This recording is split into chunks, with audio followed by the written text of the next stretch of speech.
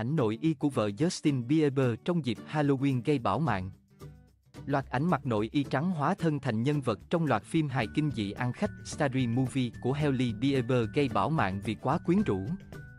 Trước đó, cô cùng Justin Bieber cũng thu hút sự chú ý với những diện mạo khác nhau nhân dịp Halloween.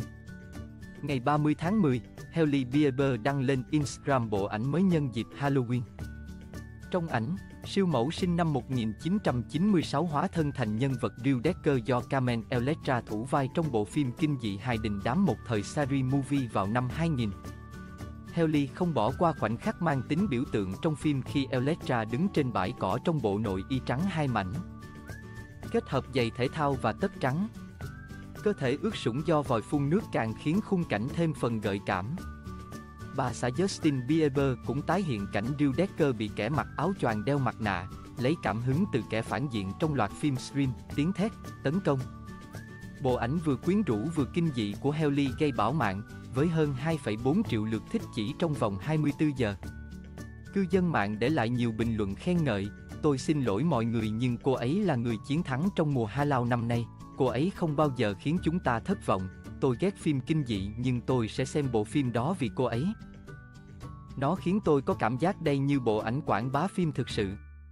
Ngay cả người nổi tiếng như Paris Hilton cũng phải thốt lên, thật nóng bỏng.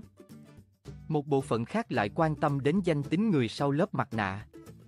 Đừng nói với tôi đó là Justin Bieber, là bình luận được nhiều người dùng nhất. Chân dài Victoria's Secret là một trong những ngôi sao tích cực nhất Halloween năm nay. Trước đó, cô hóa thân thành nữ ma cà rồng lả lơi và nhân vật trong phim truyền hình Friends.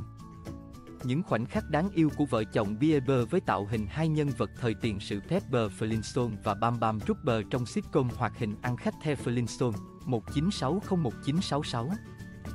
Họ mặc trang phục này để dự bữa tiệc Halloween hàng năm của Vashji, Morgan và Michael Brown ở Los Angeles vào tối ngày 28 tháng 10. Một ngày sau đó, cặp vợ chồng nổi tiếng lại xuất hiện với vẻ ngoài khác khi đi ăn tối tại The Peppermint Club ở Hollywood.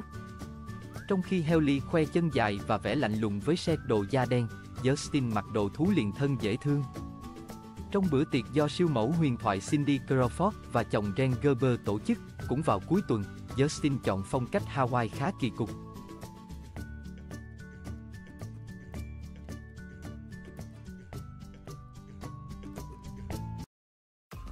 Cảm ơn các bạn đã theo dõi video, đừng quên nhấn đăng ký để ủng hộ đội ngũ kênh.